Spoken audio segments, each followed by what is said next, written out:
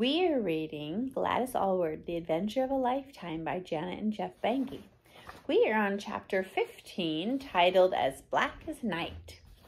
For four days, Gladys and the children sat by the river bank. They had waded in the shallow waters of the mile wide Yellow River, but they had not crossed it. The old man at Huan Chu had been right. There was not a boat anywhere to ferry them across. On their first day at the river's edge, Gladys had sent the oldest boy back to Huan Chu to scavenge for food. The boys had found some stale cakes and a couple of pounds of half rotten millet. Gladys had boiled it all in the kettle and ladled the soup out to the younger children. That was the last food any of them had eaten. As they waited by the river, Gladys could feel herself slipping in and out of consciousness. Her only clear thought was that she needed to get the children to Sian other than that, everything became blurry and unreal to her. The children were asking her questions. Why can't we walk on water like Jesus? And Ai-weh-deh, why can't you part the Yellow River like Moses did? Gladys had no response other than to urge the tired, hungry children to sing hymns and pray. The hymn singing became the answer to their prayers. A nationalist Chinese soldier stood on the crest of the hill overlooking the peculiar sight of a large circle of dirty, thin children singing loudly. One of the younger children spotted him and raced up the hill, no doubt remembering the other Chinese soldiers who had shared candy with them two weeks before. Gladys looked up to see what all the excitement was about. Was that a soldier she saw? She couldn't be sure. Two of the children ran up and pulled her to her feet. She swayed slightly and peered and soon the face of a soldier came into focus. I heard the singing, said the soldier. Who are you and what are you doing here? We are refugees on our way to Sian and we need to cross the river, said Gladys, too tired to think about where the soldier had come from or what he might be doing there. How many of you are there? he asked. Ninety-four, Gladys replied as she sat down again. Standing made her feel dizzy. Are you sick? asked the soldier when he saw she could not stand. Gladys shook her head. I'll be fine when I get the children to Sian. Can you help us cross the river? The soldier looked slowly around at the children. Yes, he said quietly, I will help you, but it will be dangerous. The Japanese are not far away. If they fly over while we are in a boat, they will shoot us all. They have no mercy. He stopped and looked once again at the smallest children playing in the reeds. In fact, he went on, they have flown over this spot every day for weeks, shooting into the reeds. This week, for the first time, they have not come here at all. The soldier turned abruptly towards the river and let out a series of shrill whistles. Everyone watched eagerly as slowly an, old, an open wooden boat came into view. It took three trips to ferry Gladys and all the children across the river. Thankfully, no sign of any Japanese aircraft appeared overhead. On the other side, Gladys gathered the children to offer a prayer of thanks. The waters may not have parted like they did for Moses, but God still had provided a way across the Yellow River. Gladys and the children spent that night in a nearby village. As usual, when the villagers saw so many children, they did their best to help, willingly sharing their precious food supplies and their kangs. Finally, the next morning, Gladys and the children marched to the train station. Gladys had been told that since they were refugees, she and the children could board any southbound train free of charge, and the train would take them to Sian. Along the way, refugee organizations had set up food stations. When Gladys heard this, she was too overcome with relief to speak. Instead, she put her hands over her face and sobbed. Could it be true? Was the worst really behind them? Gladys stood at the station, staring down the tracks praying that a train would arrive. Then in the distance she saw a puff of steam. A train was coming.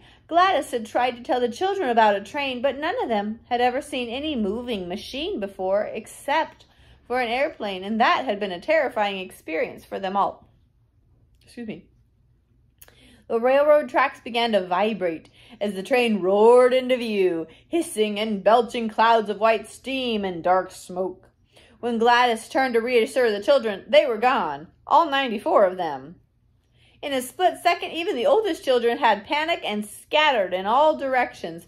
Some of the adults on the platform were laughing loudly, but it was no laughing matter to Gladys, who had 94 children to find before the train left. Thankfully, the engineer was not in too much of a hurry, and he waited patiently while Gladys trekked all the way back to the village gates to find some of the smallest children hiding there. Gladys convinced the children they were not entering the bowels of a giant dragon, and they all climbed aboard. True to what she had been told, the group was not charged to ride the train. As the train pulled out from the station, Gladys laid her head against the, the window and drifted off to sleep. Suddenly, she was awakened by screaming. In an instant, she was sitting bolt upright in pitch darkness. It took her a moment to realize where she was, and then she smiled. The train was going through a tunnel, and the darkness had scared the children. After three days, the children became quite used to life aboard the train. They didn't even blink at a tunnel, and they loved clambering off at some of the bigger cities to get a free meal. Gladys couldn't understand, though, why she didn't feel more refreshed as the days went on.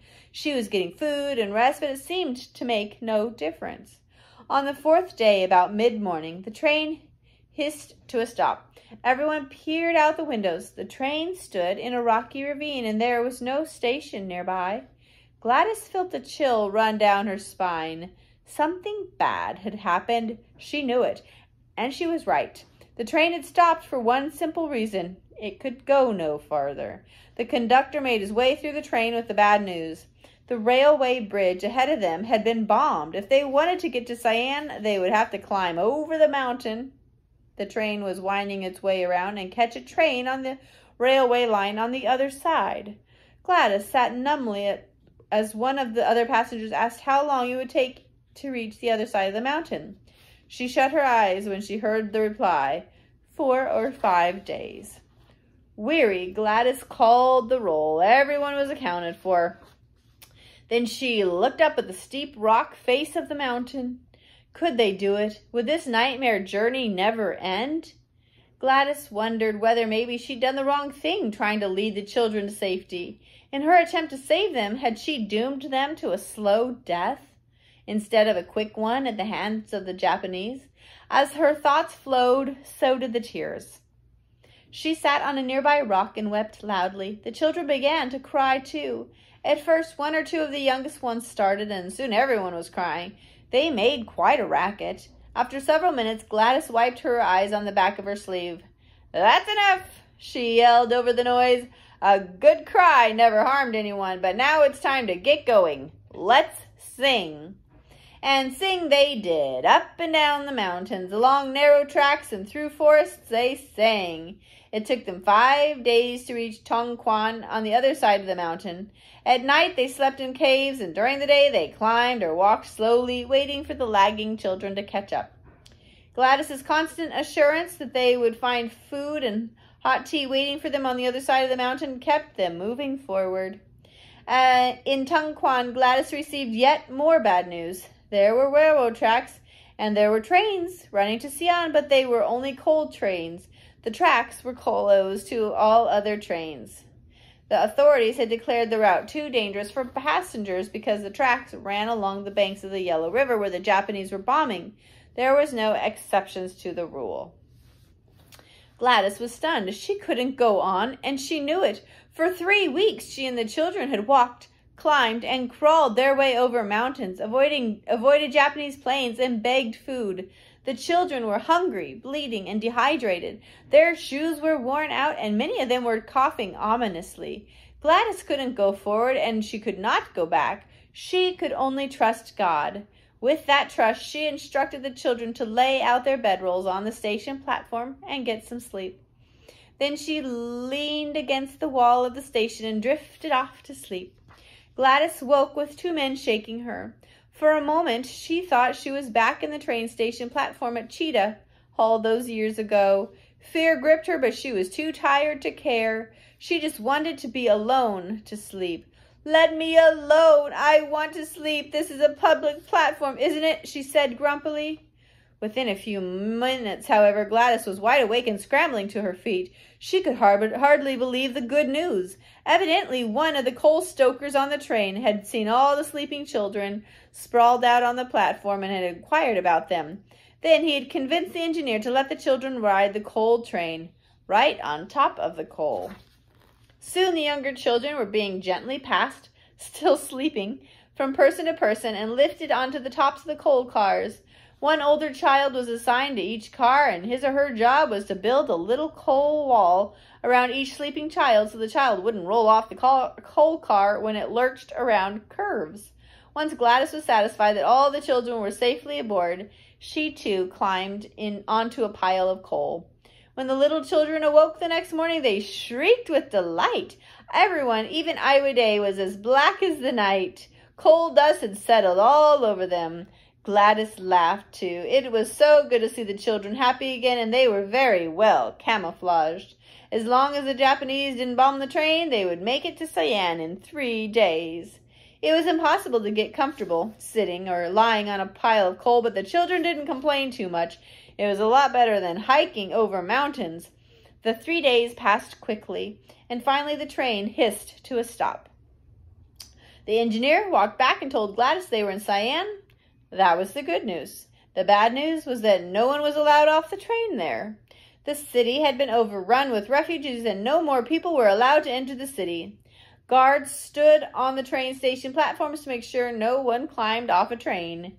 Gladys didn't know what to do. The engineer told her the city of Fufeng was three days' journey from Sian, and as far as he knew, Fufeng was still accepting refugees. Gladys wept bitterly at the news, but deep inside she found the strength to go on. The next three days on the train were a muddled blur for Gladys. Sometimes she thought she was back in England with her parents. Sometimes she hid her head in her hands when she thought she heard Japanese planes. And sometimes she thought she was standing on the banks of a wide river she could never cross. By the time they got to Fufeng, Gladys couldn't celebrate. She hardly knew where or who she was. In spite of her condition, she managed to find an orphanage that would take all the children. Within two days of delivering the children safely to the orphanage, Gladys fell into a coma. No one could wake her from it, and she was transferred to a hospital.